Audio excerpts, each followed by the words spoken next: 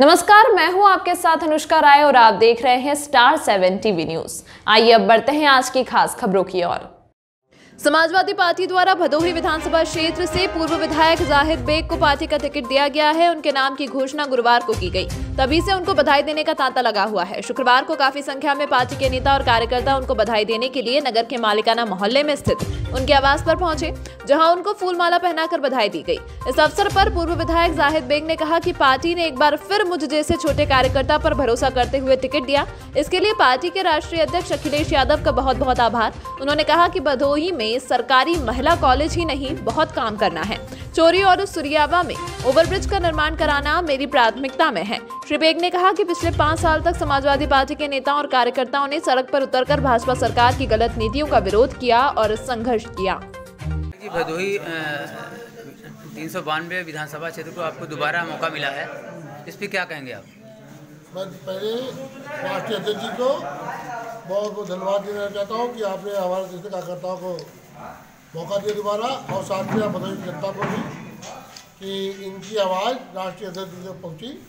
और मैं प्रयास करूँगा कि जो पुराने काम है उसको पूरा करने के लिए और भदोही विकास के लिए हमेशा तैयार रहूँगा। कुछ लोगों का मानना है कि भदोही हमारे यहाँ खास तौर पर भदोही नगर के अंदर कुछ आसपास के इलाकों में लड़कियों के लिए स्कूल नहीं, कॉलेज नहीं है। इस पर क्या कहेंगे आप?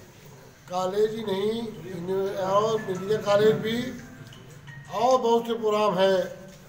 वक्त आने दीजिए चुनाव से पहले सारा मैं बैठ के लोग बता दूँगा क्या मुझे करना है। आगे कॉलेज भी है मेडिकल कॉलेज भी है बदल निकासी का मामला है ओवर ब्रिज है युवाओं में, चौरी में, और बदोई को विकास के लिए बहुत से काम है।